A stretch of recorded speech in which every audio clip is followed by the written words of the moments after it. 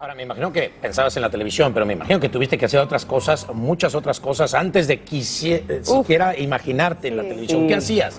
¿Qué, qué te dedicabas? Mira, yo llega, yo trabajé en, en una- un restaurante de comida rápida por tres años, ah, mientras estudiaba también. Luego de ahí estuve trabajando en una oficina dental, eh, filing, haciendo folders, eh, todo esto. También estuve de seguridad en un, en un edificio, un residencial.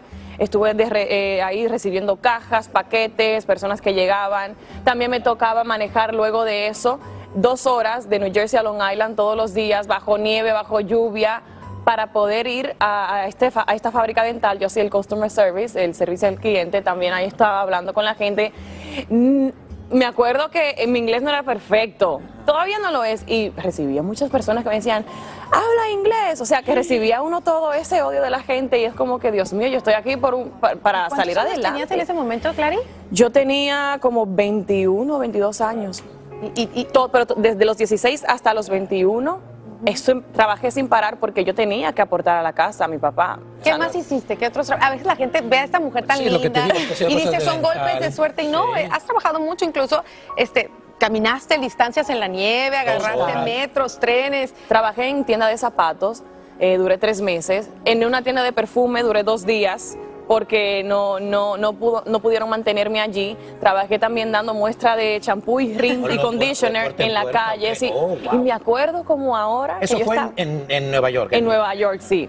Me acuerdo como ahora que yo estaba trabajando un día de promotora dando shampoo y rinse en la calle para que la gente lo pruebe. Y un señor se paró y me dijo, pero ven acá, niña, tú deberías ser Miss Universo. ¿Qué tú haces aquí? Ay, no. Y eso fue a mediados del 2012-2013. Y ahí no, no te picó la... la- Total, siempre, siempre yo tenía e- esa corazonada, como que yo sé, yo sé que yo puedo hacer otras cosas, pero ¿cómo? ¿Cómo yo lo logro? ¿Cómo yo lo hago? También hay otras cositas Sí. que me imagino que has de haber hecho. Le voy a pedir a nuestro, a nuestro jefe de piso, si nos permites, Javito, que nos traigas algo para que cuando lo veas, mi Clary, nos digas, ¿qué te recuerda este artículo? A ver. Estos artículos. Cuando trabajé este, de seguridad en un edificio, un residencial. Pero ¿cómo de seguridad? Y sabes qué, yo trabajaba 14 horas un solo día. O sea, 14 horas. yo trabajaba desde las 2 de la tarde hasta las 4 de la mañana. Wow. Lo hice por tres, tres días durante la semana para poder completar las horas y estudiar, porque al mismo tiempo tenía que hacer las dos cosas. Entonces eso me ayudó mucho de, de repente pues a tener mucho, mucho coraje, pero ahí yo, yo escribía mucho. Yo me acuerdo que escribía mucho.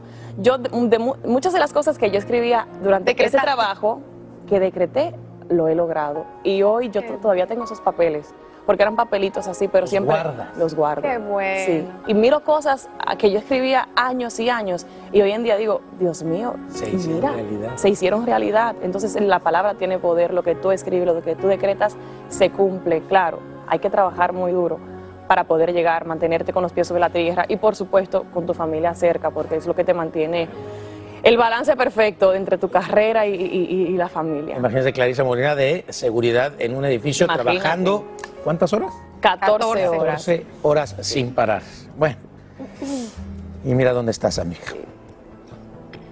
Por ejemplo, ¿qué fue lo más curioso que te pasó? Siendo Lo más curioso que me guardia de seguridad en este edificio.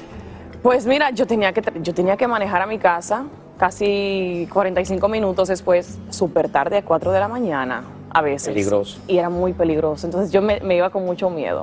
Me iba con mucho miedo y me acuerdo que, que un día pasó algo, un percance, no sé, entre personas. Y yo me acuerdo que yo llegué tan rápido a mi casa ese día que, que- que el susto, el susto mismo, dije, Dios mío, si me llegara a pasar algo.